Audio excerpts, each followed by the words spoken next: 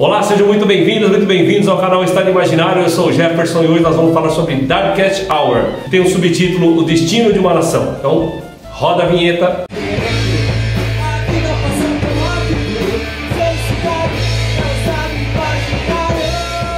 Vamos lá, pessoal. O gênero é drama de guerra. É britânico e é feito pelo excelente, carismático, multitalentoso Gary Oldman correu ao Oscar, é a cinebiografia do Winston Churchill. Winston Churchill que é aquele mito, né? Muitas frases de efeito são atribuídas a ele, que tinha ali uma escrita muito boa, quando fazia os seus discursos, fazia um discurso interessante, só que no dia a dia resmungava pelos cantos, ninguém entendia direito, falava murmurando, mas quando se propunha a colocar o seu discurso em prática, o que dizem é que empolgava multidões. Por que, que eu estou trazendo esse filme especificamente aqui para uma análise do canal? Como é interessante você pegar um filme, cinemão puro, por quem sabe fazer, que constrói uma narrativa, uma história, mesmo que não seja completamente verdadeira, e aqui vai o professor Jefferson, baseado em fatos, não precisa ser baseado em fatos reais, tá? Ser fato que foi real. Então, baseado em fatos. Nesse caso aqui, nem sempre, mas é interessante como um bom filme não precisa falar totalmente a verdade. Até porque, convenhamos, não existe o Superman. Quem voa aí de capa vermelha, certo ou não?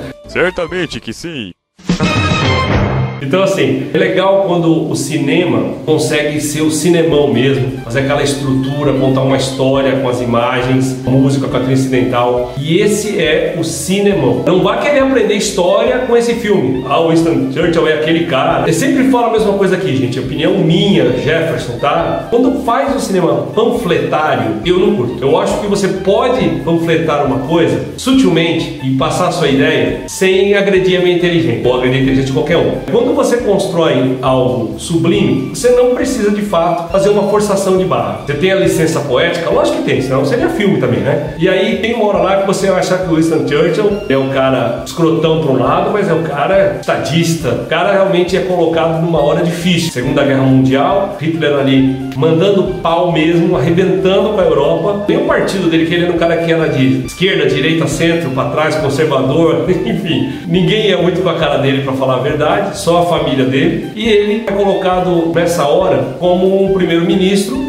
tem que resolver o quê? A guerra. Quer resolver a guerra? Eu enfrento ou não enfrento o exército de Hitler? Forte, excepcional, exército alemão. Como é que a gente faz isso? Uma coisa que eu acho interessante é quando, num dado momento, é colocado que ele conseguiu colocar a verve, né, a língua inglesa em combate. Ele usa de convencimento através das palavras para que as pessoas abracem a causa dele. E o legal é que nesse momento do filme mostra já o Winston Churchill com idade, com muito passado pesado ali naquele momento. Naquele momento ele já tinha muita história. O filme é conduzido para mostrar como é que ele consegue convencer a maioria das pessoas a ter um embate ali, porque as pessoas estavam desistindo. Mas quando eu digo pessoas, é aí que está uma questão histórica ali. Logicamente que uma pessoa pode fazer muita diferença sim. Não vamos colocar tudo o que aconteceu de extraordinário foi só porque o Winston Churchill, que era um político conservador do Reino Unido, resolveu resolveu que tudo ele solucionava. Não é bem assim. É lógico que o filme entrega essa ideia de um homem acima do normal, mas o interessante é que sem deixar de lado que ele era um beberrão, aí bebia uísque, champanhe, vinho, era uísque para acordar, era champanhe na hora do almoço, era champanhe para dormir, era na madrugada outra coisa, charutos e mais charutos, comia tudo que você acha que é porcaria,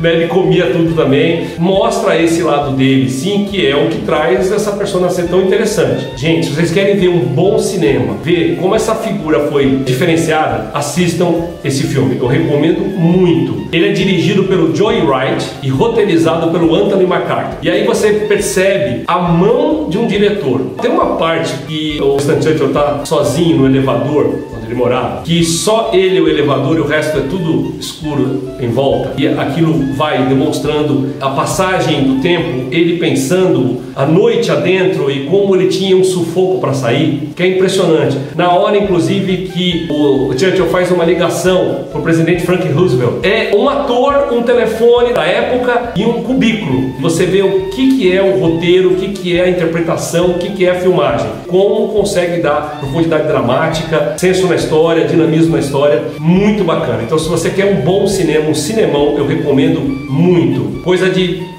qualidade. Legal pra caramba. Então vamos lá, pessoal, direto ao assunto. Winston Churchill tem que enfrentar, ou colocar seu povo para enfrentar os alemães que já estão invadindo toda a Europa e tem os aliados ali, os franceses. E eles já estão praticamente dominados. E o poder de convencimento do Churchill é: não vamos deixar, vamos para cima. Tá bem ruim e ele tenta convencer todo mundo que não, vamos enfrentar. Melhor cair lutando do que se entregar e aí não saber para onde que vai e perder pro nazismo. Então ele vai e coloca essa lenha mais, esse fogo no papo para todo mundo e consegue que esse pessoal se engaje na batalha para resolver. As duas partes cruciais é quando ele pede ajuda para os Estados Unidos e os Estados Unidos por conta de tratados não podem. Nessa conversa com o Franklin Roosevelt, ele resolve fazer uma abordagem bastante inusitada. Ele pede para um dos comandantes dele, da Marinha, maior frota de barcos de civis, que eles chamam de Operação Dínamo. Então essa Operação Dínamo é para salvar 300 mil soldados deles que estão lá numa parte do mar que não tem para onde mais correr. Então é crucial essa parte. Nisso se baseia boa parte do filme, que é essa ideia que ele tem, brilhante, para conseguir se safar de uma parte ali da guerra. As conversas que ele tem com o rei Jorge VI são muito interessantes, muito interessantes, porque é colocado que o rei não gosta dele mesmo, mas o rei depois vê nele a figura que poderia enfrentar realmente, de igual para igual, pelo menos para impor um pouco de respeito a Hitler, era esse inimigo declarado dele, que ele tem que aguentar. As conversas que eles têm, somente para marcar essas conversas semanais na hora do almoço são impagáveis. É uma parte muito legal do filme. E é lógico que um monte de coisa ali que é construído. Tem hora que esse rei Jorge VI está ouvindo o que ele está falando lá no parlamento. Isso não existia. Então tem uma série de coisas ali que não são verdades. Vamos chamar de licença poética mesmo, para que o filme entregue ali uma história legal, divertida e tudo mais. Bom, espero ter ajudado mais uma vez aí com uma dica para vocês assistirem na hora de folga, a diversão para vocês garantida. Forte abraço por continuar nos acompanhando. Por inscrição de vocês, o like e os comentários. Eu olho com muito carinho. Então, forte abraço e até a próxima. Valeu!